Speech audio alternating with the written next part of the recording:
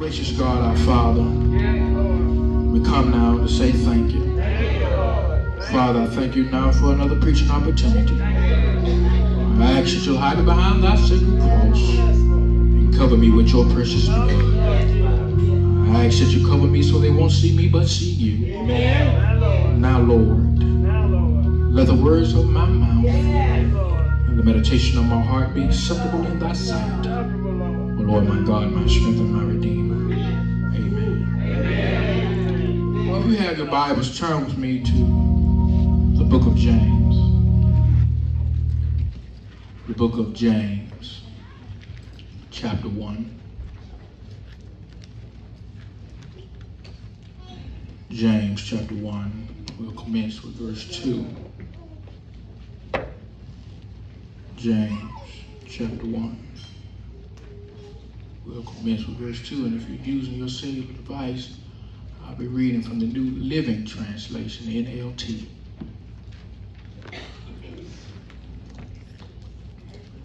James, first chapter, verse 2.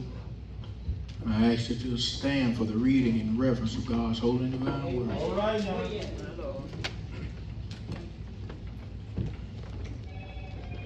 Reads on this wise Dear brothers and sisters, troubles of any kind come your way, consider it an opportunity for great joy. For you know that when your faith is tested, your endurance has a chance to grow. So let it grow. When your endurance is fully developed, you will be perfect and complete, needing nothing. You may be seated in the presence of our Lord and our Savior Jesus Christ. I talk from these words of preaching. It's worth it. It's worth it. Jalen Hurts is without a doubt one of the best examples of one who has overcome a range of obstacles. Because we all know that he began his collegiate career at the University of Alabama until he was replaced in 2018 in the national title game by quarterback Tua Tagovailoa. And as a result, he was demoted to backup quarterback the next season. But then, after three years with the Crimson Tide, Jalen Hurts made a smooth transition to the University of Oklahoma. And during his time there, he became one of the four players since the year 2000 to have 50 or more touchdowns in a single season. And as a Heisman finalist, he was invited to New York and finished as the awards runner-up. But even though Jalen Hurts had accomplished a lot, his NFL career was in jeopardy. Because Hurts received criticism because he did not have the league's strongest arms. And scouts had tended to make Jalen Hurts be considered as a one-read quarterback, and also he received criticism because they thought he did not play from the pocket enough. But as it turned out, the Philadelphia Eagles selected him with the 53rd overall pick in the second round of the 2020 NFL Draft. Fast forward to two and a half years later.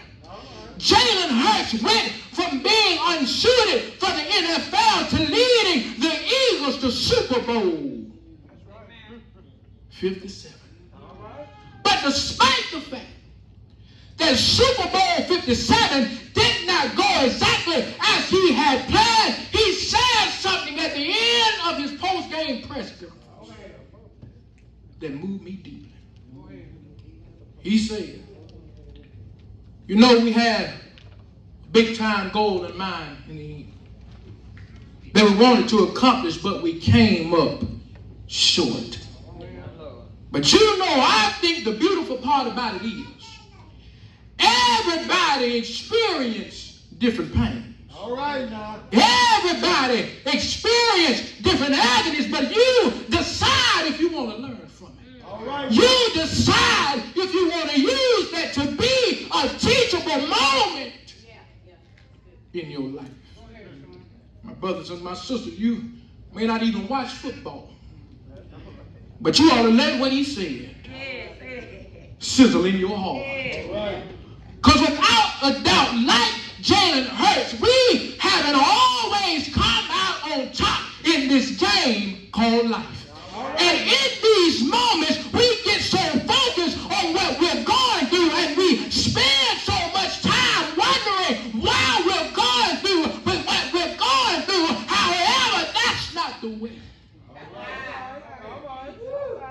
it should be. Because whenever you find yourself dealing with a situation you can't handle, you ought to look in the mirror. All right. Reflect on your life and consider what you can learn from it and the positive outcomes that can come from your situation.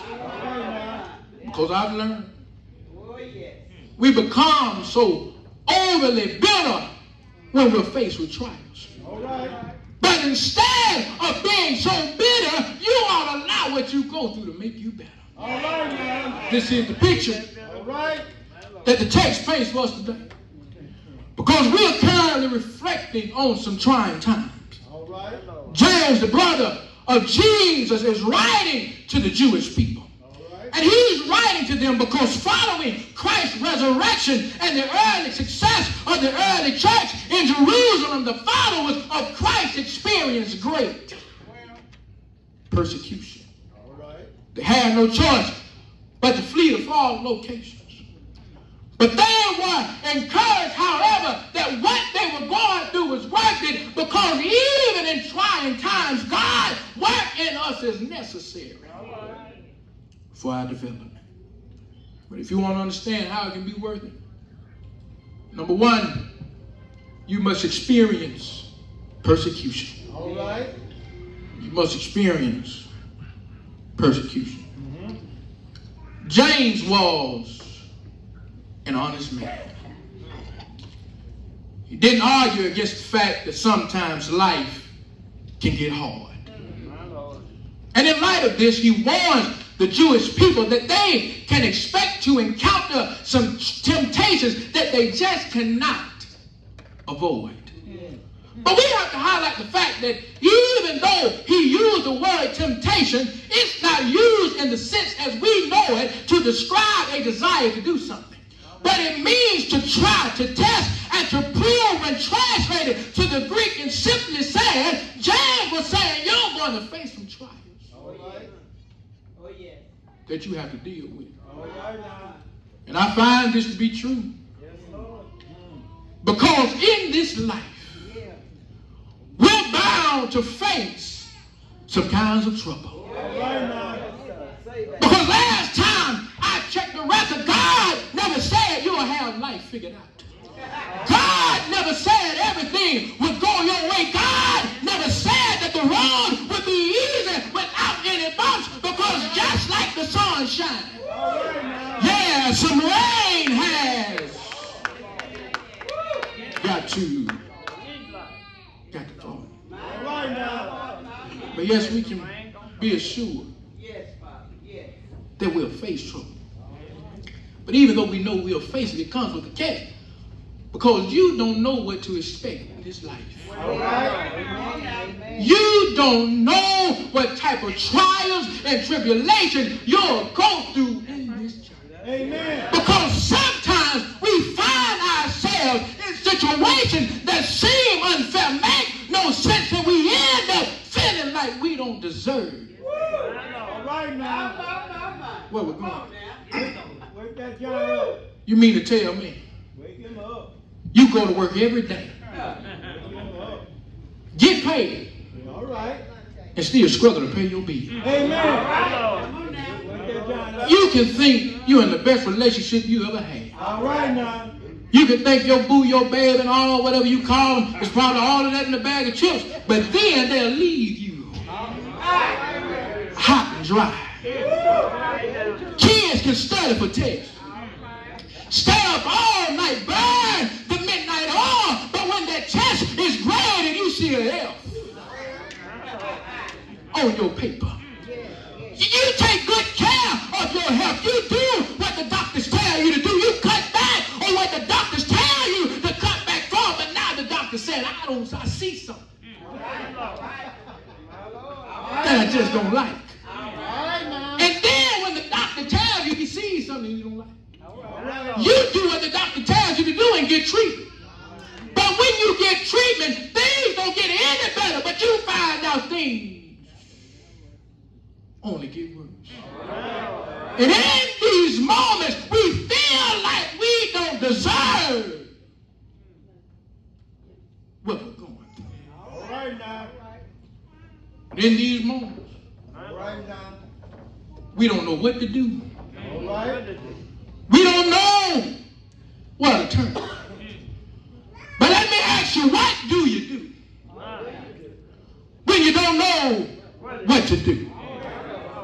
What do you do Turn to Jesus. when the best of you? What do you do when life snatches the life out of you? What do you do when life overwhelms you? And here in this text, James says, be joyful. Wait, wait, wait, wait a minute, wait a minute, wait a minute, wait a minute. Wait a minute. I spoke about we face what we don't deserve. These folks have been following Jesus. As a result, they've been persecuted. All right. And they have to leave what was familiar, adjust to a new environment, All right. because they're trying to spare their life. All right now. Now, James, I'm going through all of this, man. I'm experiencing now. persecution. Amen. And you tell me to have joy? All right now. Man, ain't no way you can be the brother of Jesus giving advice like that. How on earth All right now. can I have joy? I know y'all tired of me hollering, but I'm Go ahead. Go ahead. But Joe, you won't understand All right now. what James had meant if you don't fully comprehend what joy is. Because he was not saying you got to walk around with a smile on your face. All right now. He wasn't saying you have to fake it until you make it put on your happy face and act like everything is okay. No, that's not what joy it. Because there is a difference between happiness and joy. All right now. Happiness is external, but joy is internal. All right now. Happiness is inconsistent, but joy is consistent. All right.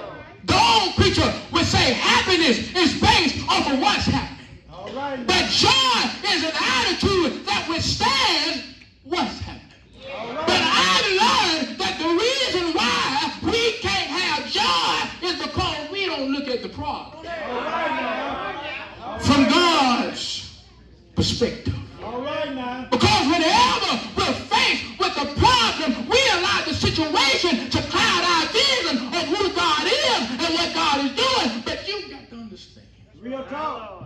That what you experience is necessary for God to accomplish his perfect plan of development in your life. All right now. Because I've learned that God has to put you in places you don't want to be right. in order to get you to where you need to be.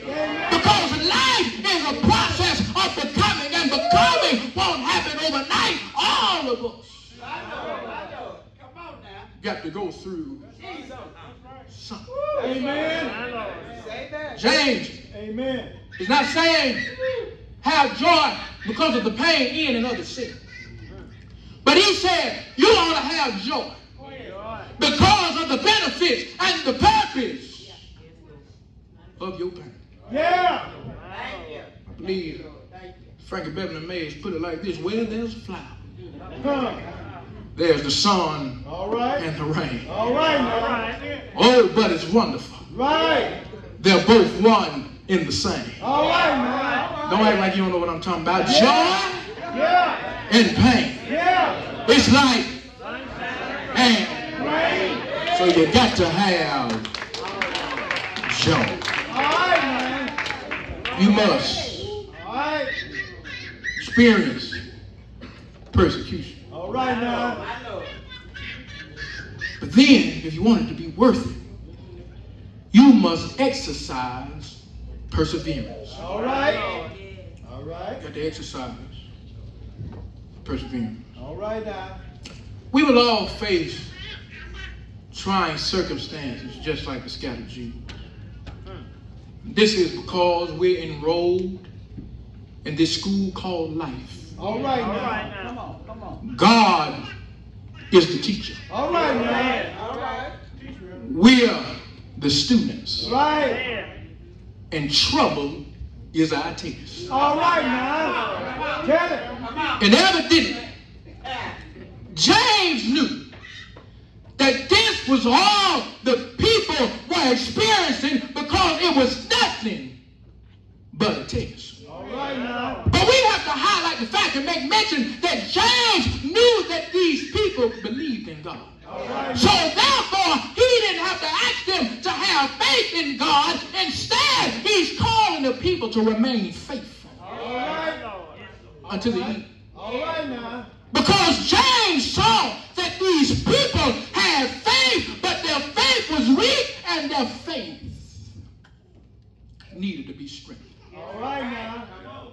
My brothers and my sisters, this is exactly why we have to go through tests in life. All right now. Because they're not designed to display whether or not we have faith, but they come to strengthen our faith. Yeah, all right. Yes. But I've learned All right. that some of us are stuck where we are and we can't see our faith strengthened simply because we don't like tears. All right. We're not prepared for the test. We feel like we're too weak for the test and we crack under that kind of pressure. But can I tell you, regardless of how you feel, All right now. you don't have to go through the test if you want God to strengthen you. All right now. My brothers and sisters, I know a lot of folk. Some folk been in church in years. Come on now.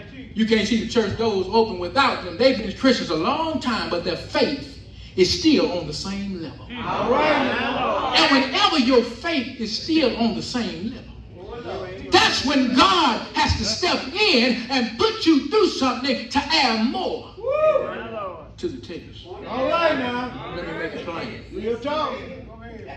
If I take this robe off, My, my, my. take this cufflink shirt off, you realize I don't know too much about lifting weights. All right now. But one thing I know Yeah. All right now. is that if you lift the same amount of weight from week to week, Yeah. your body will adapt to that particular weight you've been lifting. Amen. And you will no longer gain the necessary strength you need in your muscle. All right. So therefore, when you get used to that, Okay. When your strength that you already have can handle that, you have to add more weight All right now. To the weight you've already been lifting. Amen. But one thing about it, when you add that new weight, it's a little rough. But you got to keep pushing. All right now. And my brothers and my sisters, I realize that God has to do us this way. Because our faith is on the same level.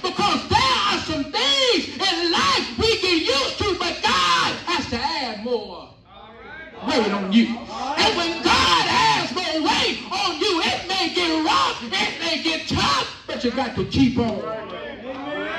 Keep on pushing. Keep on pushing even though it hurts. Keep on pushing even though you want to give up. Keep on pushing when you think you can't make it. Keep on pushing. Everybody else is still waiting for you to drop out and fail. Because when God puts you to the test, Yeah. when God adds more weight on you, it may seem like God is beating you down, but all God is trying to do is strengthen you. Right a lot of you in New City been knowing you all my life. And I know the only reason you're still here today is because you kept pushing.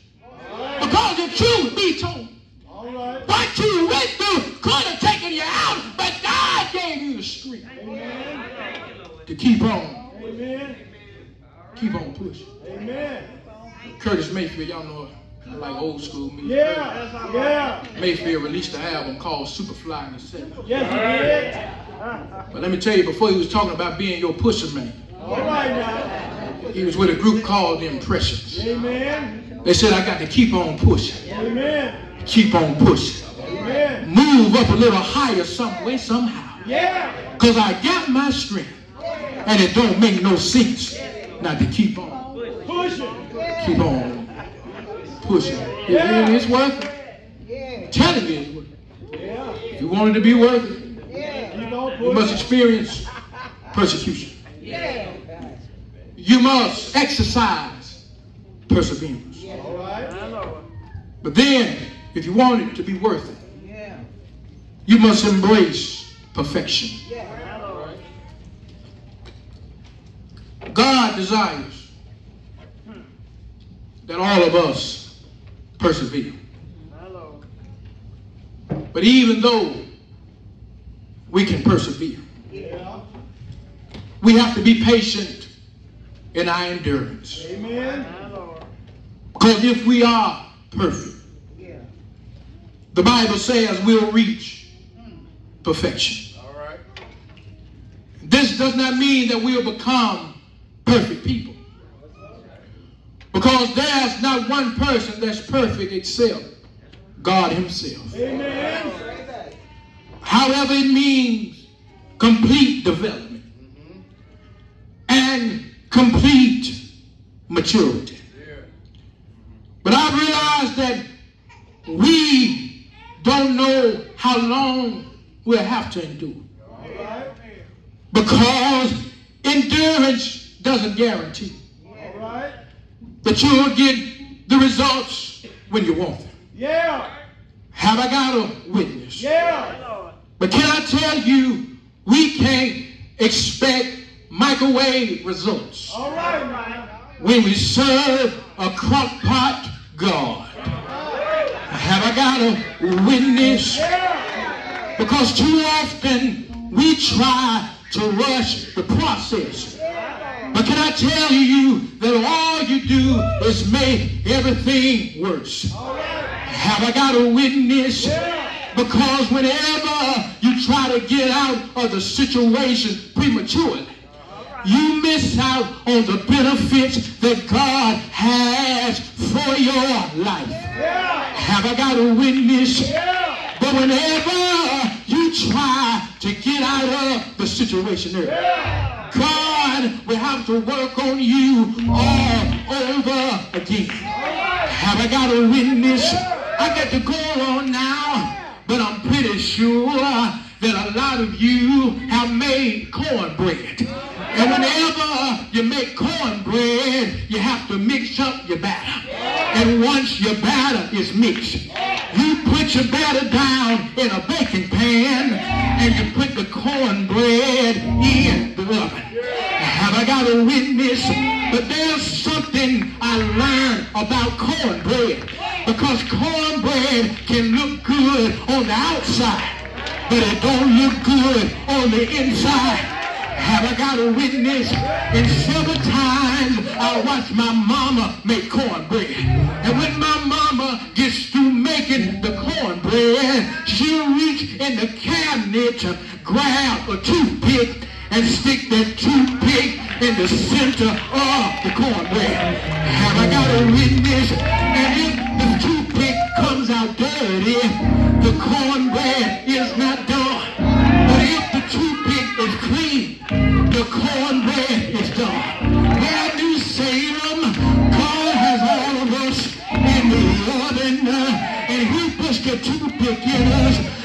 if we're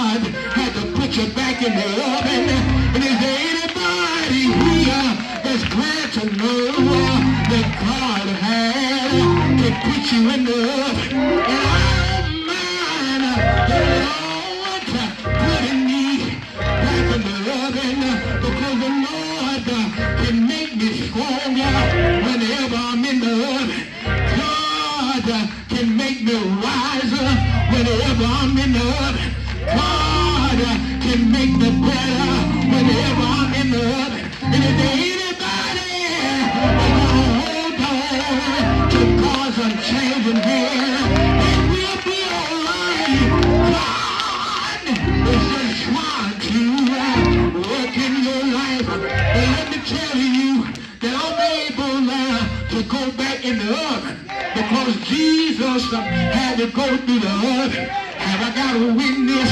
Because the Bible says that Jesus prayed three times and said, Father, remove this cup from me. But then Jesus came to his senses and said, nevertheless, not my will, but let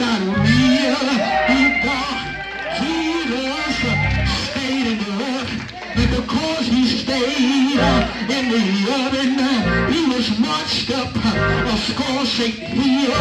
They nailed Jesus in his hand. They nailed Jesus in his feet.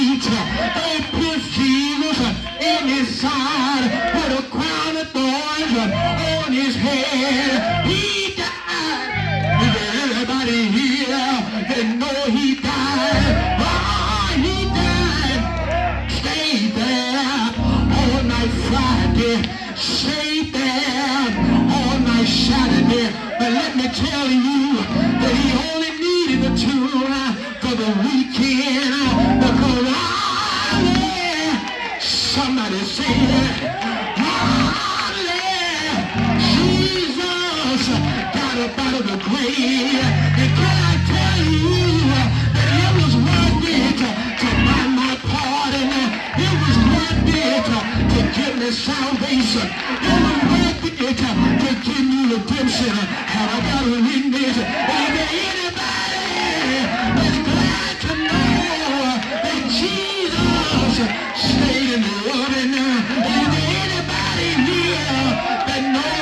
Jesus? Anybody Jesus?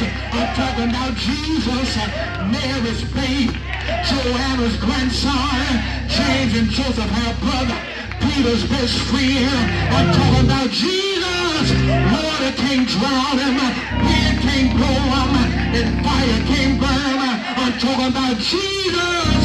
My way out of no way, over troubled water, my rock in a weary land. Is there anybody here know